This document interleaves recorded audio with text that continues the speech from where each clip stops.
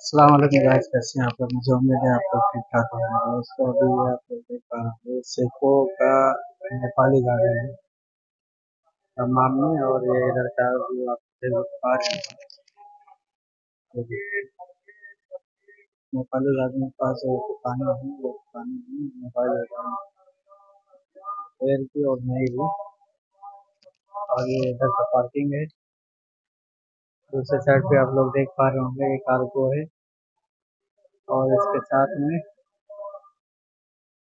यहाँ की सीको के सीको की गार्डन के पास की जो मस्जिद है, वो मस्जिद है।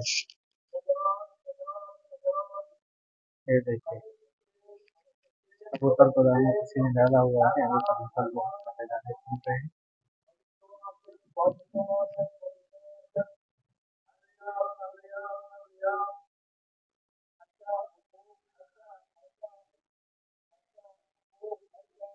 ये